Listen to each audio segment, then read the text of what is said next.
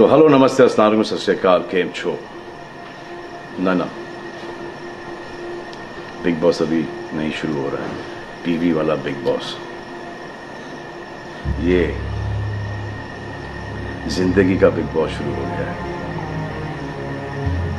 सब घर में बैठे हैं।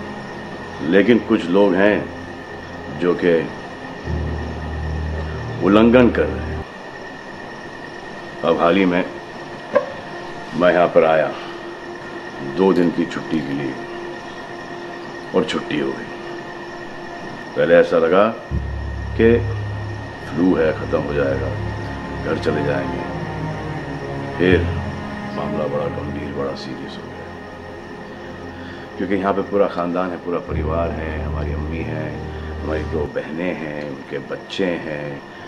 मैंने उनसे कहा कि ये जो कि आपको मना किया गया था करने के लिए, वही आपने किया। और नहायत ही बेवकूफ़ी की चीज़ की।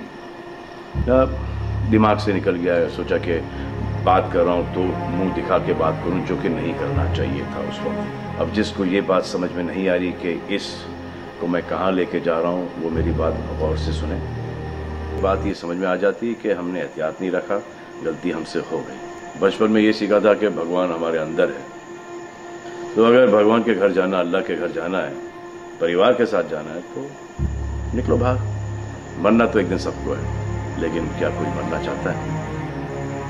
ये यहाँ पर आके ये बात चेंज कैसे हुई?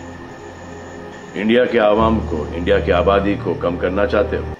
Starting with your own family तुम्हारे बच्चे, तुम्हारे माता पिता तुम्हारे बुज़ुर्ग, जिन्होंने तुम्हें पाल पोस के बड़ा किया है, उनके साथ शुरुआत करोगे। करेक्ट है रॉन्ग है। नेगेटिव सोच रहे हो या पॉजिटिव सोच रहे हो?